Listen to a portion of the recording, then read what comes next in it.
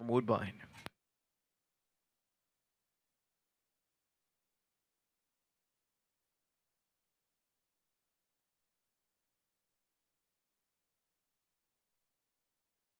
All up on the gate for tonight's first race. Here they come.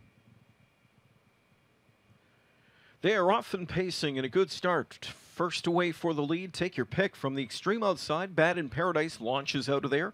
Chased out is now and again from the inside. Southwind Ion splitting horses early goes Dawn Shooter.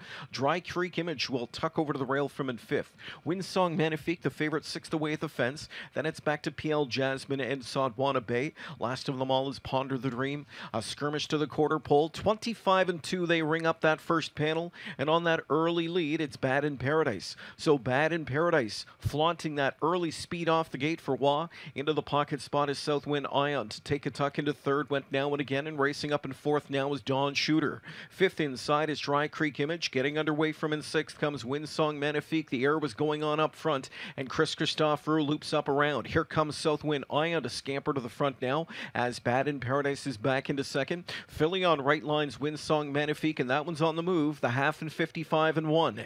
Grabbing cover outside Sodwana Bay to fourth now. Locked and shuffled Fifth is now and again. Sixth up on the move from the backfield comes Ponder the Dream. Dawn Shooter locked and shuffled at the rail. PL Jasmine to the outside now, rolling up from an eighth position and trailing from a ninth around the final turn is Dry Creek Image. They go to three quarters and they chase the chalk as Windsong Magnifique leads the way for Filion. Length and a half better than Pocket Riding. Southwind Ion. First over from in third is Sodwana Bay. In at the rail fourth, the quarter pole leader Bad in Paradise. Three quarters up in 124 and into the stretch comes Windsong Song Magnifique up front by two lengths now.